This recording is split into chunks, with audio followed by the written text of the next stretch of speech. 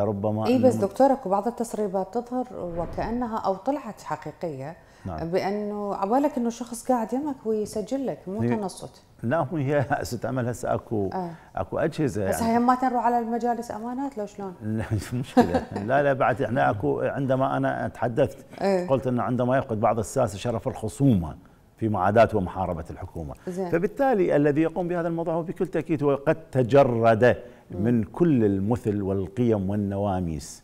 فيذهب إلى أن يقتني جهاز لربما أو اليوم أكو آه، حقيقة يعني آه، فلاش عبارة عن. فلاش لكن هذا الفلاش هو هو جهاز تسجيل صغير جدا من الممكن أن يستخدم الشخص ولا يثير الشبهة ولا يثير الشك.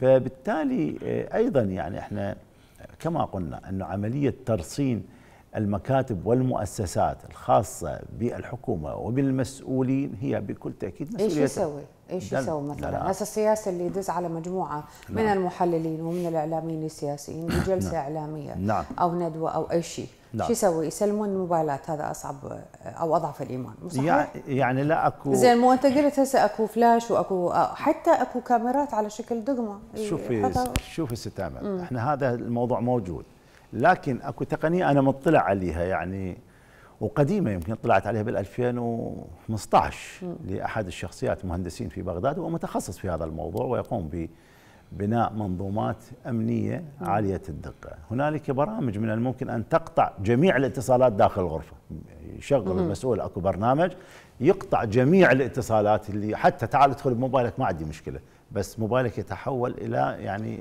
مثل ما نقول طابوقة، جار. يتحول، حديده لا قيمة له. فبالتالي هنالك مثل ما يعمل البعض على تطوير تقنيات أيضا ال- الديفنس موجود الدفاع موجود.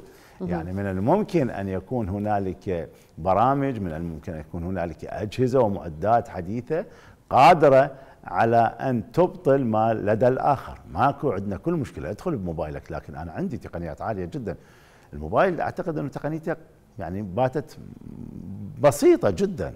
قبال تقنيات عالية قد حصلت في أمور كثيرة.